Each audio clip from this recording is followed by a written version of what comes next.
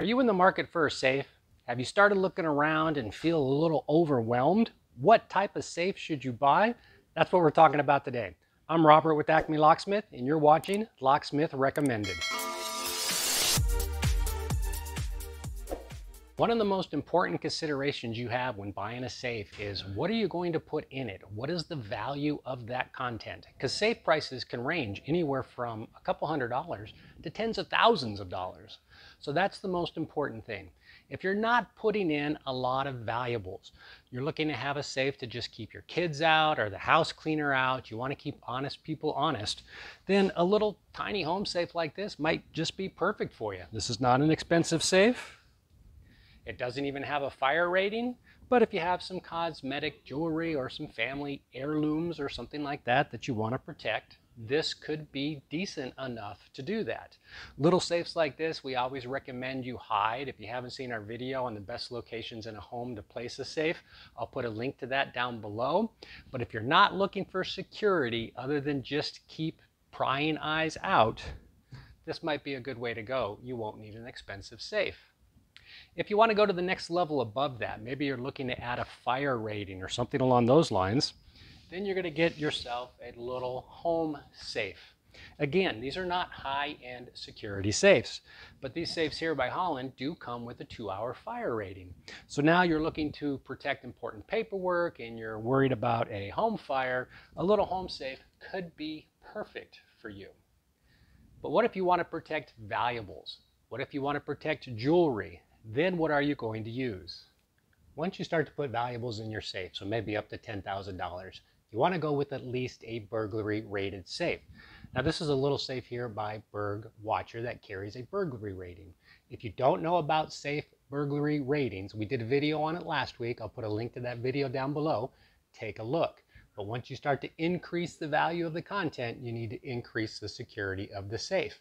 With burglary rated safes, you get things such as thicker doors, glass relocker, anti-drill plates, thicker bolts, all increased security. So watch our video on burglary ratings from last week. You'll get all the details of that. Obviously, burglary rated safes come in different sizes.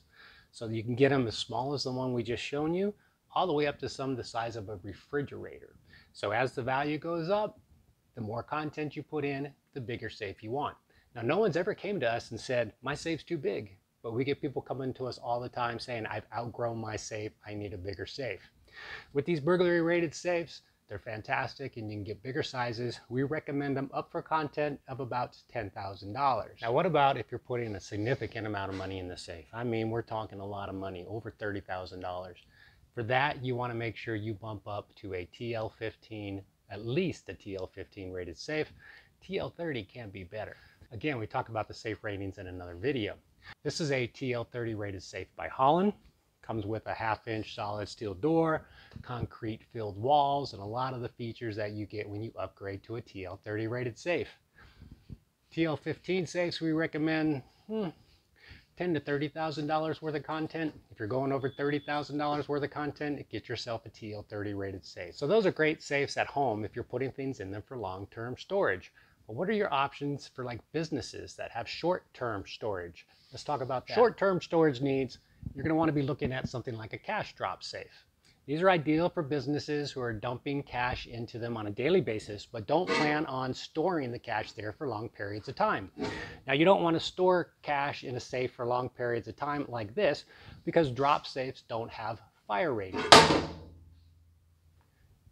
So they're perfect for short-term storage of cash, storage of other things that you're not concerned about catching fire. They typically have burglary ratings. Even this little tiny one has a burglary rating, but not long-term storage. So what about collections? Maybe you're a card collector or something along those lines. What are you going to look for? Well, the burglary rating that we talked about in scaling up, that still applies based on the value of the collection. But then you really want to make sure you focus on fire rating.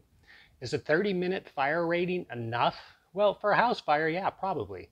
Because if you're in a residential community, by the time the house heats up, catches on fire, and exposes the safe to that heat, the fire department's normally already there spraying down the fire, cooling the house off. So if you're concerned about it, but it's not a major concern, 30 minutes is probably enough.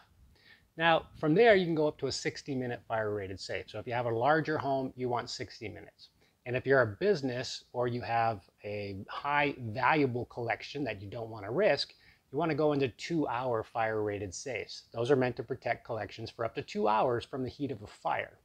Now, I would always recommend getting a safe with a UL fire rating to make sure that it has actually been tested at that fire rating when you are putting valuables that are combustible into a safe. Another safe you might want to consider, especially if you're putting high valuables in it, is a floor safe. Now we talked in considerable detail about floor safes in another video. I'll put a link to that video down below. But if you have a lot of valuables and you want to make sure nobody finds the safe or finds those valuables, a floor safe can be a great way to go.